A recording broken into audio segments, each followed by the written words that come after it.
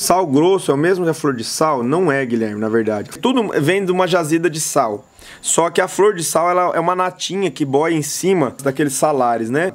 Eles pegam a água do mar, jogam numa piscina e aí aquela água do mar vai decantando, vai evaporando com o sol e vai ficando só o sódio, o sal. A natinha que fica em cima, os caras passam uma, uma pazinha de madeira assim, ó e eles colhem e, essas, e essa natinha tem, uma, um, um, tem um cristalzinho mais delicado, parece uma florzinha, então eles chamam de flor de sal. A flor de sal mesmo, verdadeira, vem da Normandia, na França, ela é caríssima, a gente não tem acesso.